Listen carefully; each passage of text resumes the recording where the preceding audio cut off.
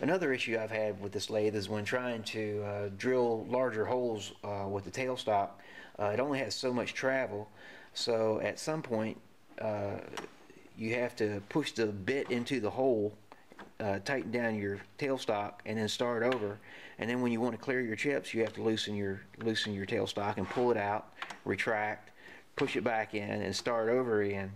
And uh, also, with with the Morse taper number one uh, in the tailstock, uh, oftentimes the chuck wants to spin.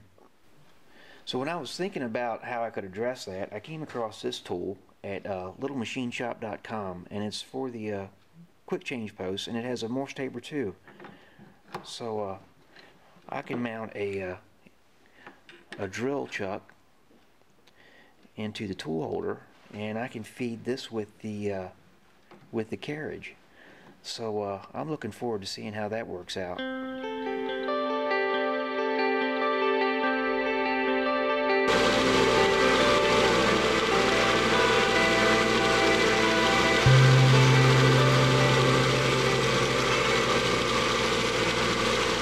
first thing I'm going to do is I'm going to go ahead and set the height of the tool holder.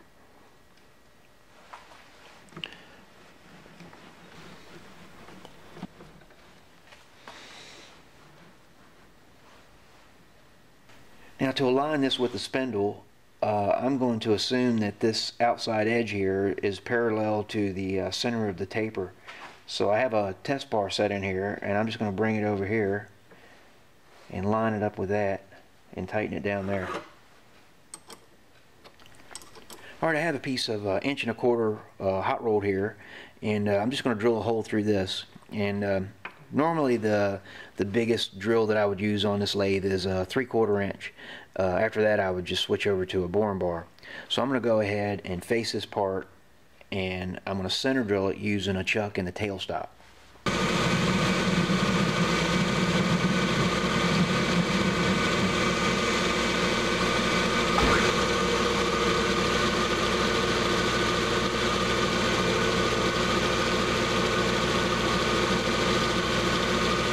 I'm gonna reinstall the taper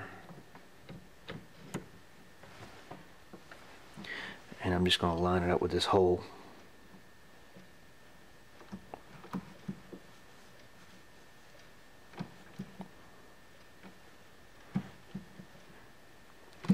And I'm going to uh, tighten down this outside gib uh, just to make sure that this doesn't move.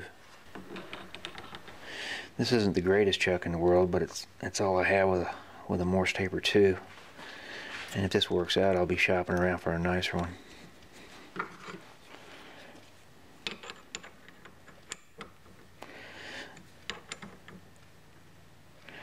Alright, so I'm just going to step drill it until I get it up to size.